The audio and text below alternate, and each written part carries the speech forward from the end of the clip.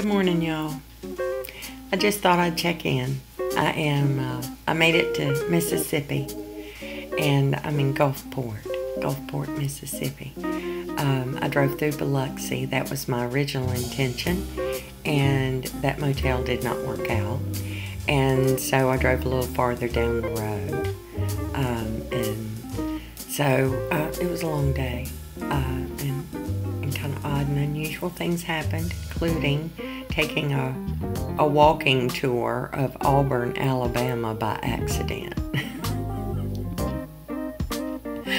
when you do Google Maps, make sure you're on driving directions, not walking. Took me 45 minutes to find my way back to the highway.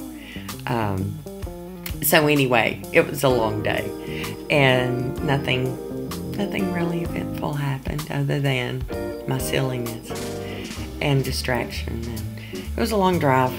Um, it wasn't even 300 miles. Apparently, I can't drive 300 miles because it takes me like six hours at least. so um, today I'm, I'm I'm attempting to cross Louisiana, and it could be done. So we'll see. I might get an early start. Anyway, um, here I am, making my way. Not to the halfway point yet. Um, I think after today's drive, I'll be about halfway home.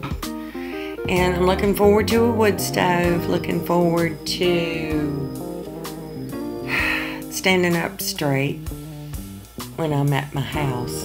Because, you know, I can't do that in the camper. Down like this. No wonder my neck and my shoulders and my back, my leg hurts.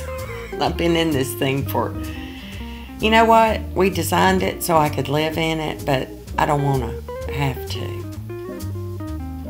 If I, if I can help it.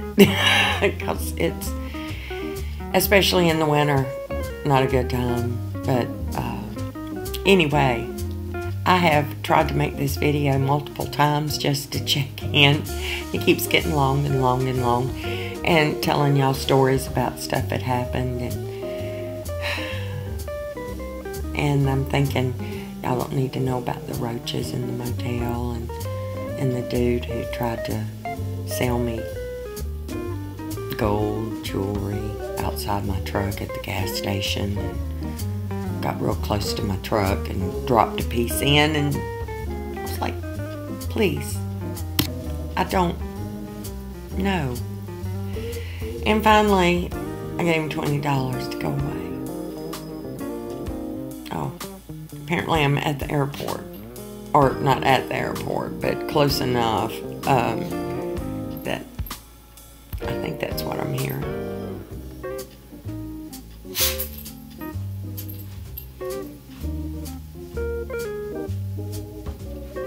I don't know what it was.